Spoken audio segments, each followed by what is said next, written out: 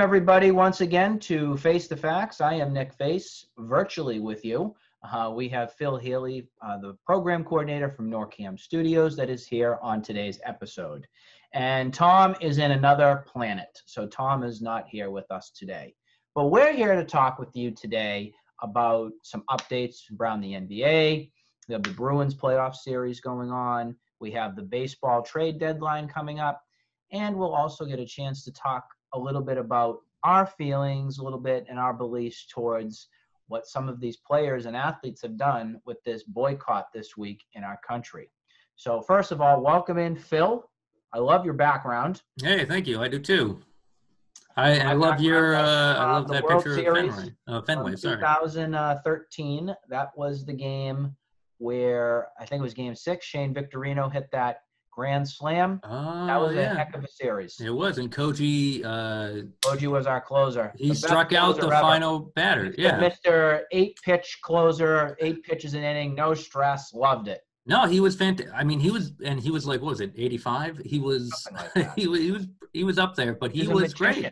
He was a magician. He was, and he helped us. Uh, like, like you said, he was no stress free. He was very. Once you got to Koji, you knew, and he, uh, they ran him into the ground.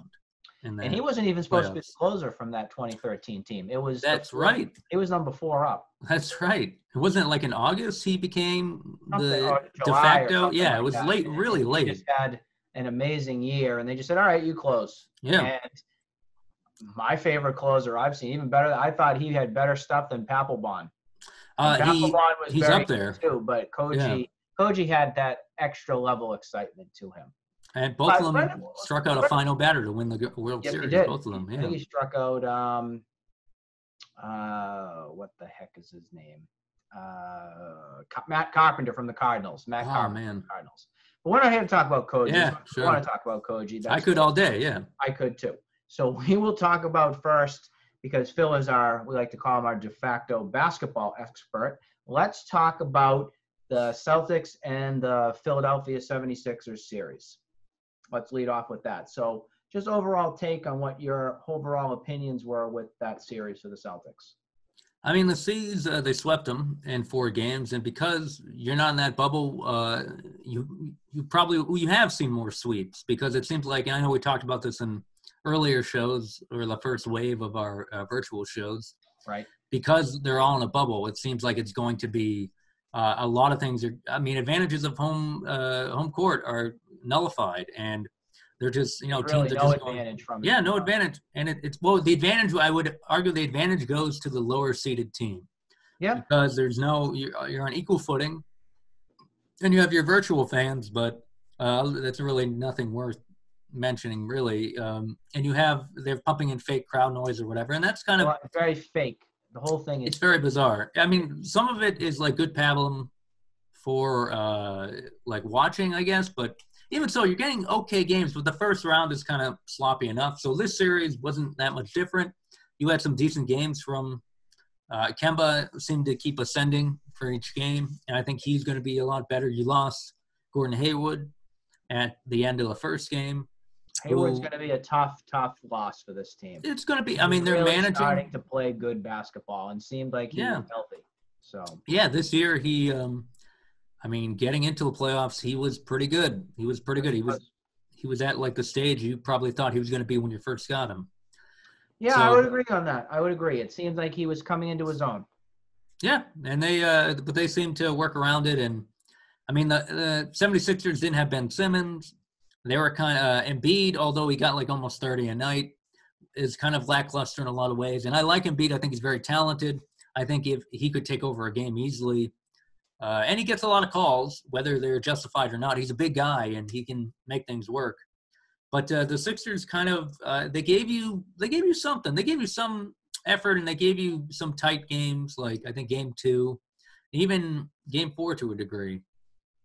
But uh, oh no, not game two. I'm sorry, uh, game three. I would argue game, game one, three, a little bit closer. Yeah. Two was kind of a blowout. A blowout towards. I mean, they won by like twenty something and they Celtics had like a firm hand on that.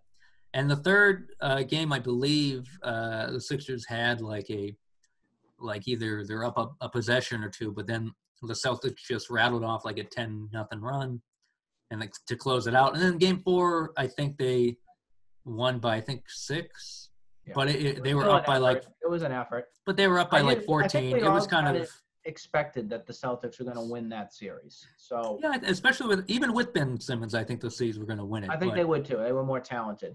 But the thing that I think really stood out to me from this series, and I'm going to be honest with you, I didn't watch too too much of it. It's hard for me right now to honestly watch sports, and we'll get into that in a little bit. I'm following it, but I'm not. I'm not having that same kind of passion that I've had for so much of my life in sports. Um, but I thought Al Horford uh, just being like an absolute no-show and getting just obliviated by his former team was kind of comical. Kind of comical. Yeah, he had some moments, but he really wasn't. I mean, the whole team, the the Sixers just were are just kind of a collection of uh, what are we doing? I mean, that's yeah, I agree. that's kind of what it is. And the, their coach got fired the day after. Brett Brown is fired. Yep. And uh, Cedric Maxwell always has is always great if you listen to him on the radio with him and um, uh, Grandy. Yep. Sean Grandy. Yep. Uh, Matt, I believe it was at the end. Uh, yeah, it was the end of the fourth game. I was actually listening to part of the fourth quarter while driving, and he had, when they were up by 14, the C's were up by 14. And I think it was like six or seven minutes left. Max made a joke at uh, Philadelphia timeout, like Brett Brown addressing his team. Well, it was a Mhm. pleasure to coach you all. Yeah. And it, it was, I mean, he knew right. everyone knew. I mean, it's just like Brett Brown, nice enough guy. I think he's a New England guy. He, I think he uh, coached uh, He's Maine. going to still college. be doing something within the organization with Oh, really? Philadelphia. So he's just not coaching next That's year. weird. Basically, that's weird. That I mean, just get him out Like of there. getting demoted. You know. I, Yeah, I don't know if I could ever do something like that.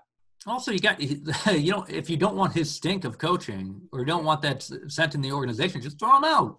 I mean, Right. as much you know, as much as it's very nice that they're demoting him, it might actually be worse off for him because maybe he could do better somewhere else. I don't know, but You This team know. was- sometimes it, it- Yeah. it's very difficult, as we've seen, to coach a group of athletes that yeah, have a lot of baggage to them or have a lot of ego to them. I mean, we've seen it over I the years. sure. Some teams are a dream to coach. Some aren't. Yeah, and maybe you know, I mean, honestly, I mean, that's their job as a coach. That's your job. I mean, and we give uh, players a lot of guff. Yeah, it's their job Well, to, to do whatever to Yeah. assess, to assess the situation and try to motivate do whatever they can to make sure they get you know they get out of the way of Right. of, of progress and on, uh, honestly last year uh they were uh you know the 76ers were a bucket away from beating the raptors on their floor in the second round and going to the third round and i think beating they probably would have represented the east and they might have actually on something they were that good and they were rolling in a way. I mean, they I think they gave the Raptors their their biggest challenge, to be honest. Not Golden State, but although Well, Golden State you know, did give them speaking of. Raptors, I mean, that's who the Celtics will play next in their next round, which Yep. was supposed to start last On night. Thursday, yeah, night, whatever it was. Thursday at six thirty. I think it was supposed to. Yeah. So that will transition us into the next domino. And that was the announcement on Wednesday evening that started with the Milwaukee Bucks with this shooting of Jacob, uh, what's his name? Jacob, Jacob Blake, I believe, Jacob Blake, who was shot seven times in the back. seven times in the back, pulled a knife on a cop, was wanted for sexual assault and all the all this kind of stuff and everything. Oh, I don't even know if Yeah. that's true. I don't know if that's verified. I, it's the whole thing to me is just it's it's awful. Like I get it. I get people are upset in this country, and I get that they're frustrated. But Phil, I think you'll agree with me on this. If you don't, that's fine. That's why this is face to facts. You can have your own opinions on this show. But if I look a little worn down and tired today, it's because I am absolutely disgusted with not only our country right now, but the whole landscape of professional sports. Here's why. If I am to bring a boycott and a some sort of making a statement for my organization to NORCAM to wherever else that I go and represent, Phil, what happens to us? As far as if we put up a stink and boycott and say no we're not going to go and do our job. We're not going to work. We're not going to do this what happens Uh, I think you're trying to make a false equivalency to these people who are in entertainment, and if they Mhm. have they have a megaphone and they feel their best way to get it out there is to kind of stop playing a, a game, a, a children's game of which they've all professed that they've loved, and there's nothing wrong with the game itself and or uh, the playing of it. And you can have, I mean, we love, we talk about it all the time, but we also know that it's just that a game. It is a game. So, but it's not like they're talking about like they're talking as firefighters or they're talking as Police uh, officers or, yeah, or EMT doctors or EMT or, people- doctors. That's Right. and and I'm sure they would, you know, they'd be the first to say like, no, this is not. You know, the more important thing is we have a voice, we have a megaphone. This is the and this is the instrument we're using to the voice our uh, discern, or I'm sorry, my our uh, distaste for the situation and their concern. But uh, yeah, I mean, I understand what you're saying. If we we don't have that luxury, sure, No, we don't. but we also don't but we also don't we're also not no one gives a, a crap about what we say and i don't mean that flippantly i mean that I in a sense with you, where we're, we're, not we're Joe Schmoes.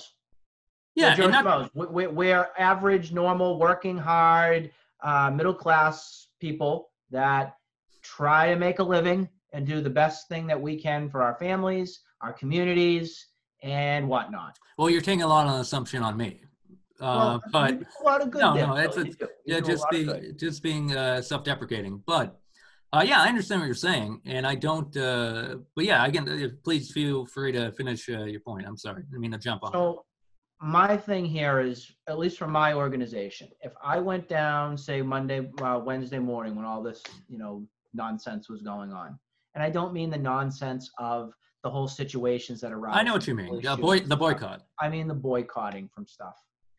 I don't have a business anymore. I have no money to support myself, my family, my employees. I lose a community. I lose a district. I lose my families. I lose my kids' trust.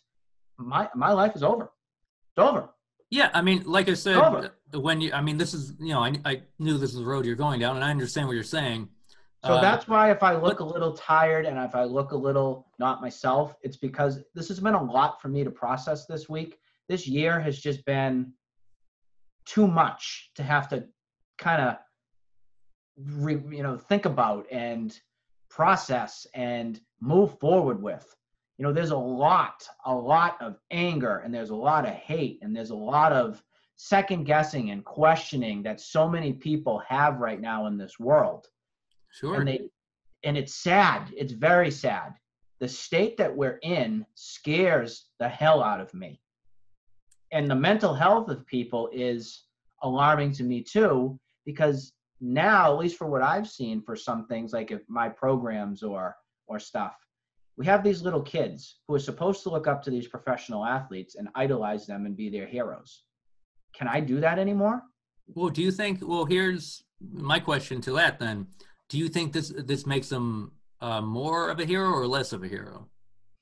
In honesty, and I don't mean because because they're not in the same No, situation. I, know what you mean, and I'm having a very tough time even giving an answer with that. And usually, I, I, I, I I'm not somebody that's wishy-washy. I usually, if I have no, it's opinion, it's it's okay. I mean, it's not. I like to have my opinion. yeah, but I, mean, just- it's not. I don't. don't need to I don't a. feel right as a citizen right now, as a business owner, as a community leader, by saying what the professional athletes are doing is right.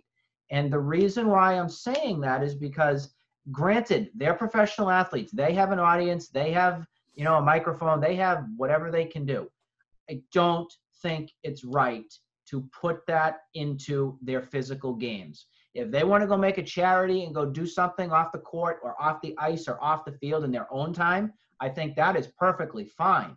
But when you bring that baggage into your workplace, that's where my issue is because it's not fair for everybody in this country. These million dollar professional, sorry, spoiled brats, most of them, are getting away with this because they can.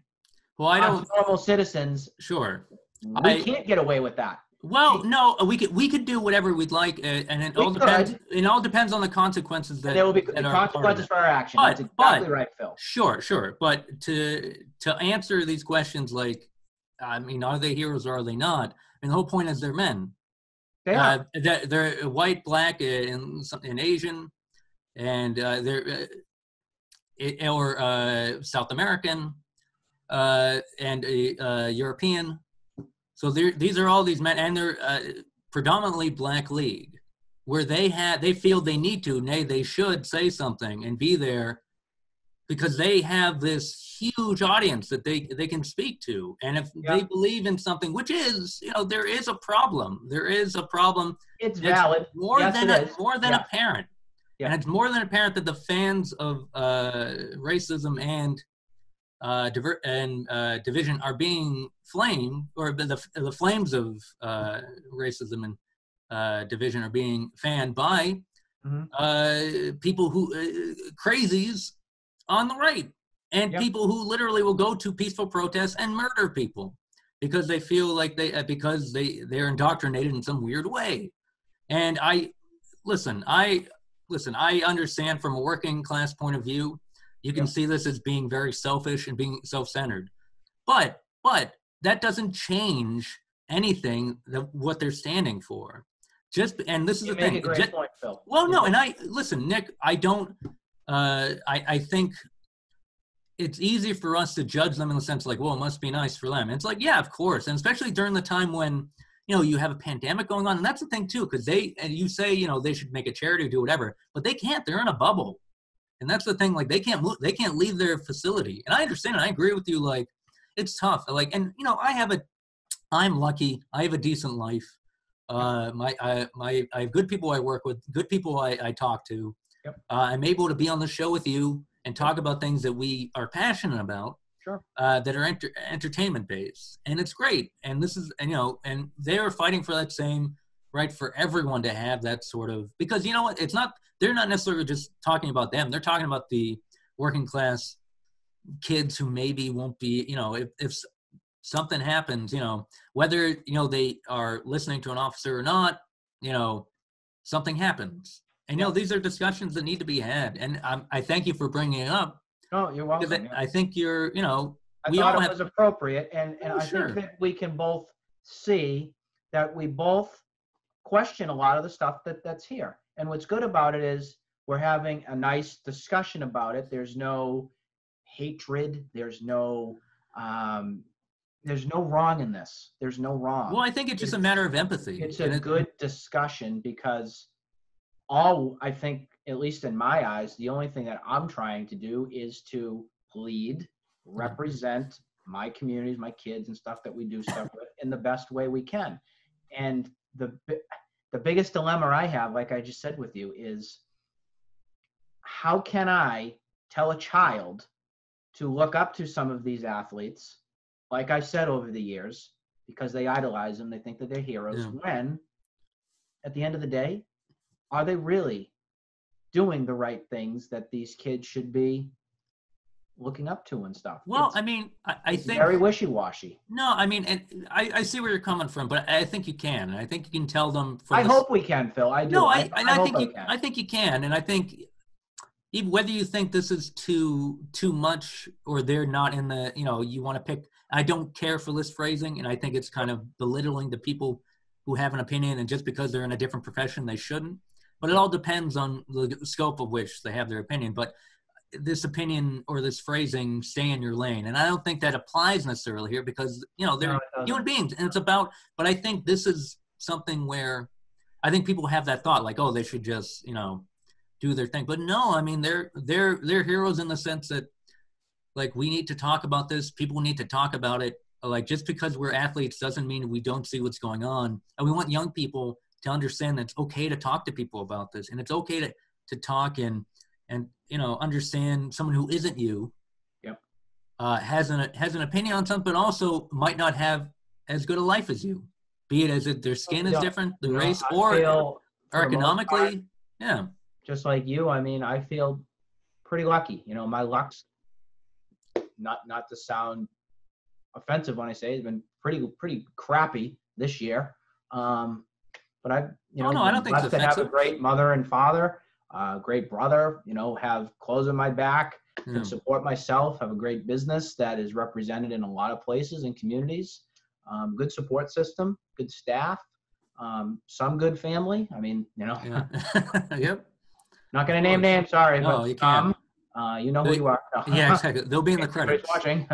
Uh, some good friends, you know who you are. No. Um, and most importantly, it's the support system. And I think that we have to support each other here through this. Nobody is wrong in their opinions on this. It's good to have opinions. I think it's. I think. I, making it's trying to make those opinions into matters that can make us progress better in this world. Yeah, I, I think we got to be careful about like because not every opinion is created equally. I think No, it, it more or less. Right, I think it's like what we're doing here. Like whether we full, we don't fully agree with each other, but we can always talk about it. And we're at a great we're at a good place where we can say to each other like you know I I don't think that's you. We, I can say to you, you can say to me like well this is where I'm coming from with this, and then we could just kind of meet somewhere where we know as human beings that the empathy is there and the light for each other, eh, the the kind of the flames of um, of humanity. Whether you, I mean, humanity can be pretty um, horrible, but also can be pretty great. It's that spectrum, just like anything else. But I think you know, be careful because sometimes someone's opinion is that is based in hate, and sometimes Yes, that's are, and I've I seen mean- that. I've seen that too much in this past year. Yeah. where, You know, who are you to say this is what we should or should not be doing? Like this flu vaccine that these kids are supposed to get mandatory if they go back for school. yeah. Who who are you to tell my child what they can and cannot do? Well, it's that it's a should be the weird right of a parent in my eyes. But Yeah, it's weird. It's weird because that's also a thing where uh, uh, the that is such a weird thing, and and I you know I got my when I had a I had a kid last year, and right before we were told to you know get uh, you, know get shots because a kid immunity isn't is obviously isn't developed. Right. So it's that, that same kind of thinking process is is uh, put out there. So I mean, it just I mean to me, I don't necessarily share that uh, same feeling regarding like I understand where parents are coming from and other people are coming from where they feel like they shouldn't be told how to do it, but sometimes we're told to do stuff all the time. That's I mean, look at the mask. I mean, masks are pretty much mandatory anyway. Well, yeah, that's But I, I choose to wear my mask, um, whatever you do with yours, um, Yeah. because I don't want to get sick. I Yeah. want to follow the rules. I want the world to get better, and I think that that's one of the ways that hopefully we can get better from. I hope. Yeah, and I, I think the flu know. thing is just kind of like they want to make sure it's tough because it's so crappy in a sense where kids in school they don't know if they have something or don't, and like it could be something else, could be COVID. I don't know. It's a whole weird, but hey, man, much love Well, from I'm glad that we were able to have the talk about this because Oh, it's been course. something that I think deserved the right recognition from. Um, and you can't escape it in a good way. you can't you can't you know i know a lot of friends of mine and some family like i'm done with sports i'm not Yeah. watching anymore like they're bringing this and i'm hearing it Well, I mean- a lot and sports have been such a big part of my life and Yeah. i No, can understand i can understand both sides of the I know, I know, man. And I, I apologize. I know I'm that guy. I obviously have a little long hair, so obviously I'll be that hippy dippy guy. But uh, no, but it's I, I think, and people if they don't want to do it, they it's fine. They can tune out, and that's their call, and that's what hey, that's what it's their there for. it's Yeah. if you want to watch great if you don't want to watch Yeah. go watch uh reruns of the office or whatever the heck you want to do you have So, plenty of options. you've got plenty of options to do but uh, yeah, I I'm I'm with them. I don't I don't begrudge them, and I think they're doing the great thing. And the Kenny Smith thing, I don't know what your feelings on that. That was, that that, was- was neat i mean That, he that was pretty powerful. like them too. I mean, walking Yeah. off the studio from his set from everything. Like I get it. I totally Yeah. get his stance on that and everything. Um, the good part is it looks like basketball will return. We just don't know officially when. Yeah. Um, and then we have hockey that is been postponed for the last two days. It'll be postponed tonight as well, All right. or Friday. Now they know when we're taping the show. Yeah, sure. Yeah. Um, and then hopefully the Bruins can resume. Um, this is a good segue for the Bruins. They'll resume on Sunday. And it's a good chance to talk about that series now, too. Now, we don't have Tom here, our typical expert, but that's Yeah. okay. We will both talk about it a little bit here with you. So, right now, the Bruins are down in their series two games to one. The Bruins had a great first game. Uh, they were able to get a nice victory. I believe it ended up being four to three, a little bit too close for comfort, but pretty, Yeah. Bruins pretty much dominated that first game. The second game ended up going into overtime, and the Lightning ended up winning I like say three to two? four to three, or Oh, three four to to three, two, I think. something like that. I think the first game was three to two. And I think the second game was four to three. I think you might be right. Yeah, you're Yeah. right, Phil. That's exactly right. And um, see, now you are the hockey. So I kind I have to. I got to pick up the slack. car. And then they just got their butts kicked in game three. That was just a teeth pounded in, uh, seven to one loss right there. I, I didn't believe it when I saw it, man. I couldn't either. I actually, maybe I'm the reason why they lost. Um, I was at a conference at night with um, some families, and I Oh. didn't get done till about nine o'clock. And I Oh, checked wow. the score, and it was four to one. And I was like, well, don't have to watch that when I go home. there So- you go. I think that the, they need to get back to their game one uh, physicality. I think that the Lightning have physically beat the Bruins down the past two games. I do. Um, there's been some luck involved on the Lightning's end too. There's been some tricky bounces and some weird deflects that have gone in. I don't want to super overreact to that seven to one loss because everybody's entitled to a bad game. I get it. But the thing that I have to caution here is that you don't have Tuukka Rask. And as much as he's such a polarizing figure and athlete in this city, with uh, especially the Bruins, sorry, folks, he's missed. Like, I know we said on the show that we believe in Halak and everything, but I think game three showed you. Yeah. you, you're missing your Vezina Trophy goaltender. That is Rask. He's been there. He's done that.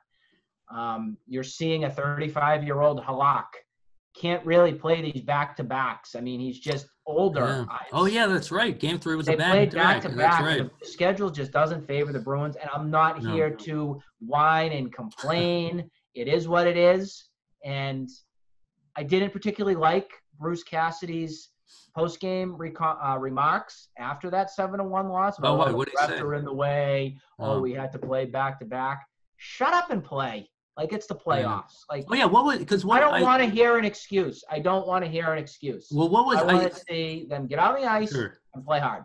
Well, what was the? I mean, there were a lot of complaints I remember about the refing, more so than usual about this game. And your own were like, what did you think? Oh, you didn't see most they of it. yeah. were. I thought it was just it, unfortunate placement on where they were. Um, Yeah.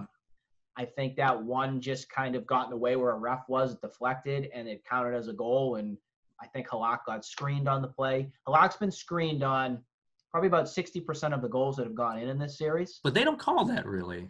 They right? don't. don't No, they don't. It's the They don't call playoffs. that. It's just it, it's one of those things. Yeah. What I am terribly concerned about is if Halak can't respond back, that backup that they have, Dan Vladar, see you later. I can put my dog in the net and he'd do better. Oh, Well, how? What kind of dog is it? A small cockapoo. Well, maybe He's yeah. actually sleeping right now. If it can skate, then I think you know put it in. I mean, he's like Airbud. I mean, he just he, would if he, had, he might take a nap in the net, but I mean, he might still be able to block the puck Way better. Yeah. scrub. I mean, Phil, he this guy that was in net never had one ounce of NHL experience. He has not played a real NHL game. Did they take Halak out? Yeah, they did. They pulled him Oh, after four to one. Yeah, they pulled Yeah. him. And you know, rightfully so. Rest him up so he's Yeah. get, gets ready for this next uh, pivotal game four. Now, I am calling game four a must win. It is very Oh, yeah. difficult to come back and win in a series when you're down three games to one. So the Bruins need to tie this up, and hopefully, I mean, I thought this series was going to go six or seven games myself. It's two of the best teams in hockey. I get it. Yeah. So I still I still give the Bruins. Uh, I'm not losing faith in them. I'm not.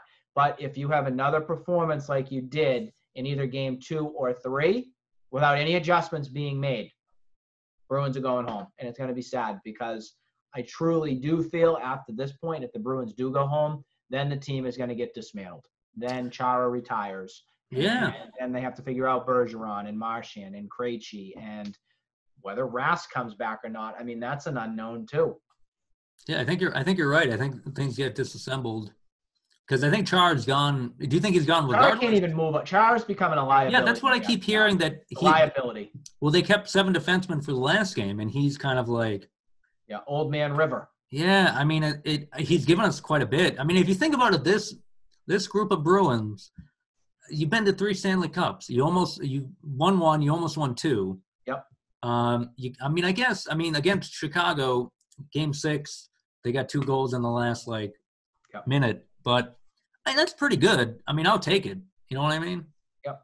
I'm not even I the biggest Bruin see guy. I mean, I, I, I would love to see Bergeron specifically before he retires get one more, just Yeah. one more. That would be great.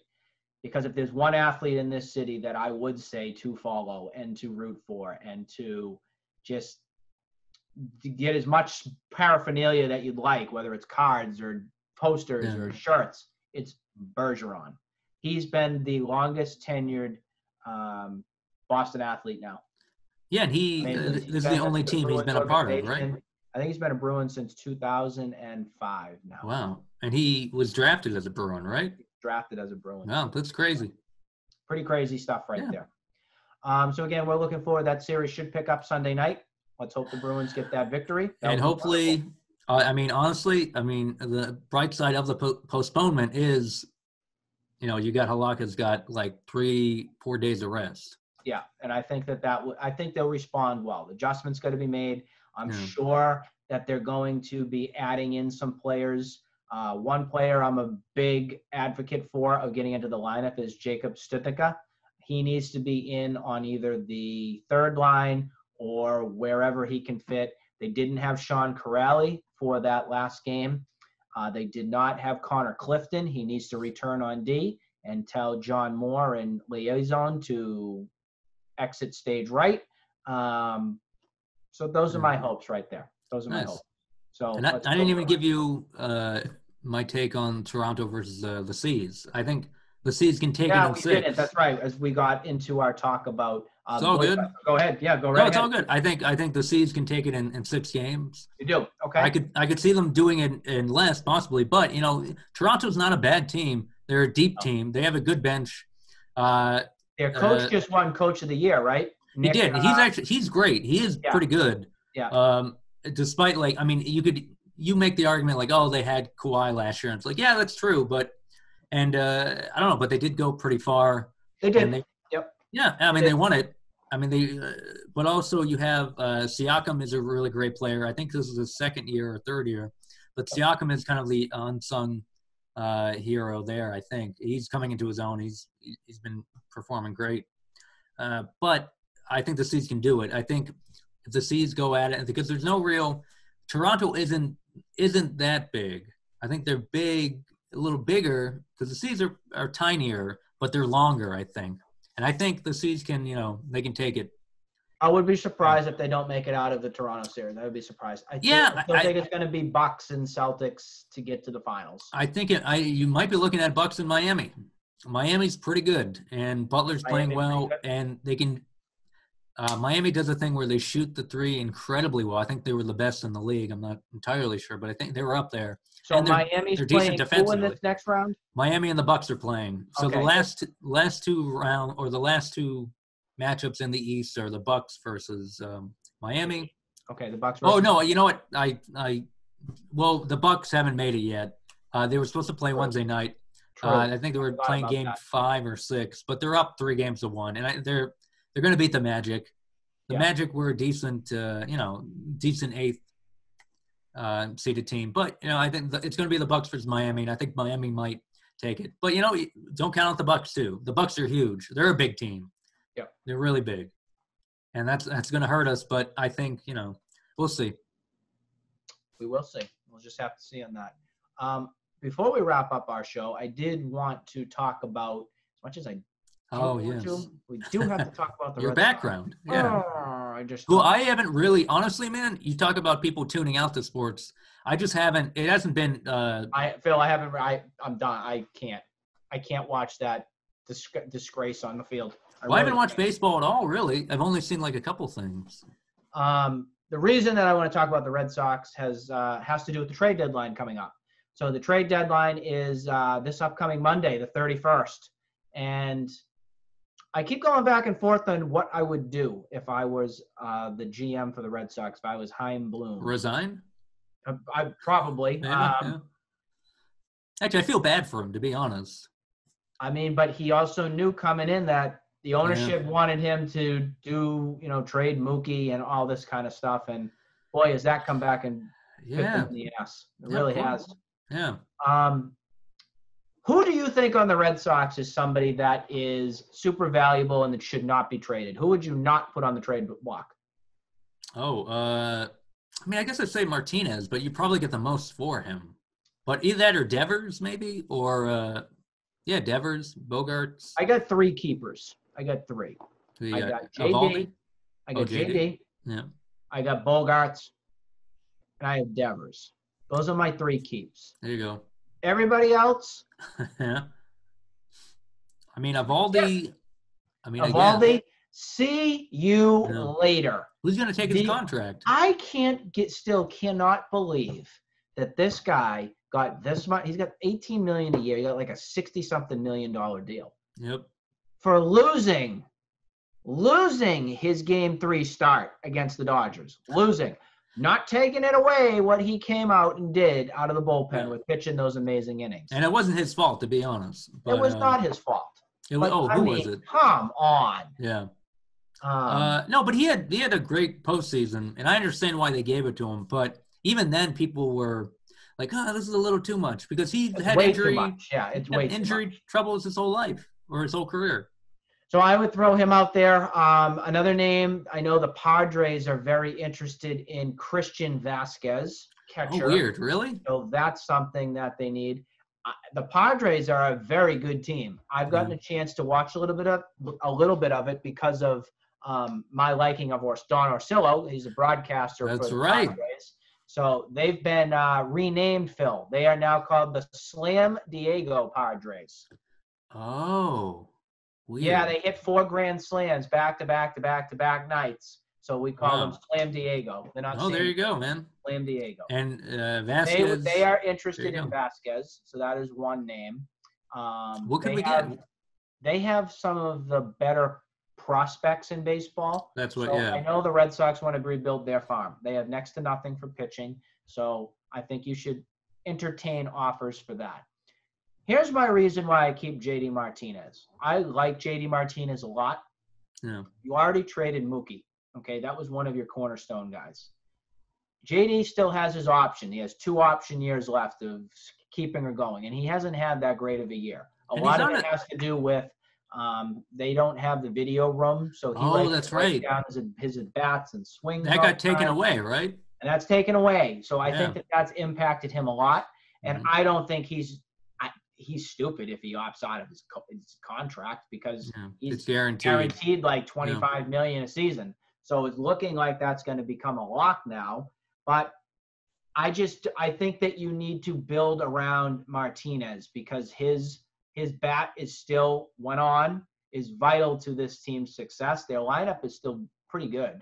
Um, but those are the players that I personally would um, pretty much not trade. I mean, Devers hasn't had so, such a good year, but he's only 20 years old. Remember, 2021. Yeah, no, he's So uh, he's, he's, very kid. raw still, so he has some things that he can work on. And defensively, he's been- gotten a lot better. Like, A little bit, a little bit. I still don't think his position's third base. no. Um, I think he'll be a DH or first base within the next couple of years. well, JD's not a spring boy. chicken either. That's the thing. No, he's not. No, he's not. So I think Devers is going to have to get a glove at first base soon. The the biggest bright spot on the year for the Red Sox has been Verdugo and Mitch Moreland. Mitch Moreland has just tear the cover off the ball, and he's on the cheap. So I mean, if you can, if you can keep him and maybe have him as a platoon or whatever it is, uh, that might be a good thing. Um, Verdugo is another name that I think um, has a lot of value. I like his energy. I like what he brings to the table. He's not a Mookie Betts, but That's he's what you got somebody for him. that um, he's somebody that I think the Red Sox are going to like, and I'm starting to like him as a fan uh, as I get a little bit more comfortable as this season has kind of come up. At least from what I've seen, he seems like he's he cares, he wants to be there, and that's great. There is one particular player that I would trade in a second, any day of the week, and I would like JD. Uh, I would like Jackie Bradley out of here as fast as possible. Now, The years have not changed you. oh, I just I'm done. I can't. Well, how's he been this year? Has he? I thought Oh. he started Oh. okay. He had a good week, and then he's been his normal miserable Yeah, buck 80 hitter himself. yeah. I took offense to an article that came out last night from NBC Sports Boston. And they put out an article that said, Can the Red Sox not trade Jackie Bradley Jr. yet now, after all of this has happened? And that really, really kind of struck a nerve with me. What was their argument? They're arguing because the color of his skin, they can't trade him. Oh, I see. Well, And, I mean, and you know what? I look at players on a pure value standpoint and production standpoint. If you can't hit, if you can't play, you're out. You're traded. Doesn't matter you're white, if you're black, if you're Haitian, whatever the heck you are. well, I mean, I mean, I mean, also, it's he's ridiculous. not the only black player on the team. No, you know, you got Bogaerts and Devers and uh, Orlin as well. Perez, uh, some guys in the bullpen. It's ridiculous. Like these people love to stir the pot, and that last night just infuriated me seeing something like that. Oh, you really It are angry. to get a story, to get a charge. Well, they got a charge out of me. sure did. They got a charge out of me, and my Twitter fans are all all me, and they want to dump this guy out of here. But anyway, I can't believe that that would even be something that somebody would want to, you know, Eh, I mean, I, I can I can see where they're getting what they're getting at, but I mean, honestly, I mean, there's a difference. I mean, is Jackie Bradley Jr. that beloved? I think I think getting rid of Mookie, I think Mookie is a separate thing because Mookie was, I mean, he was pretty beloved. He was Yes, MVP, he was. Mookie was, yes. and also he 100%. pro- he protected Andrew Benintendi, who hasn't been as good, correct? Uh, right. as far hurt too, so he's not even Oh. playing. Or it's just like, and JD, you can make the argument that JD doesn't have the protection because wasn't he uh, Mookie was two, Yeah, or two or one, or, two or one, yeah. Benintendi was two, and there's no protection with JD, and Devers hasn't had Yeah. such a great year. So it, it throws everything off. So It does throw I everything. know. I just I wouldn't say no to anybody on a trade. Blow Yeah. me out of the water, even Bogaerts. If somebody comes and says, well, "I'm going to give you a first round pick and I'm going to give you this guy, and that's equal value," maybe do it. Is he on contract? Like uh, They JBJ? signed that. He said you signed that extension last year. I guess he got Yeah. us a five year. Um, Oh. break. Uh-huh. Well, I mean that's attractive to other teams um, then. He has a five year option or a five year deal on his contract. But Okay. I wouldn't say no to really anything on the trade. So it should be interesting to see what the team actually does look like this time uh, next next week. Yeah. It'll be interesting to see what happens. Yeah. I mean, do you think they'll blow it up? I do. I do. I think they're going to start and try to trade as much as they can. I just really hope that they do keep Bogaerts, JD, and Devers. Everybody Yeah. else, other than that, bye. I mean, honestly, like it already was kind of a young team the last two years. So I mean, I know. It's just very bizarre. They got a lot of work to do to get back. I think that the Red Sox have the hardest time right now getting back to winning another World Series. Out of all of our four teams, I think the Red Sox Yeah. are going to have the toughest. I think then it's the Patriots. I think it's yeah. I was gonna say yeah. I think right now the highest chance is still the Bruins, even after Yeah. that bad loss. No, I- I think they're there. Celtics. I would say I, I think I think the Bruins might have a uh, have a better shot. Um, the C's, I think you have a three year window right now. yes, you do. Um, and I think they have a good chance of getting like this shortened like this bubble season is it's kind of interesting. I'm not gonna lie. But yeah, Yeah, no, we'll- we'll- the best Oh, those are my background dogs. Oh, that is your background. Who let the Yeah. dog out? Um, I that did is not. um, that is also things that we'll get get a chance to see more and more as these uh, as professional seasons pick up whenever they do in these professional sports. So, uh, any final words, Phil, for the day? uh, no, go Celtics and uh, Jaylen Brown. Uh, I'm with you, and uh, I don't know. His game is, is great, and I love his leadership skills. But yeah, I'll leave it to you. Now we're just gonna Uh, go you. Bruins! Let's get a nice bounce back victory Sunday night against uh, the Lightning and get right back to uh, winning ways. Need to win this series. Believe in the cup. Believe in the cup. You got to get back to that point. You got to get that cup, especially after last year. No letdown. No letdown. So that's my final words here on today's program. We will see you all next time on our next virtual episode, which will be amazingly episode 80. We should, we should be with you next week at some point. And I hope all of you have a great weekend. Enjoy your sports, enjoy your family. Try not to get frustrated like I do about this world. And uh, we will see you next time for more on Face the Facts. Have a good one, everybody.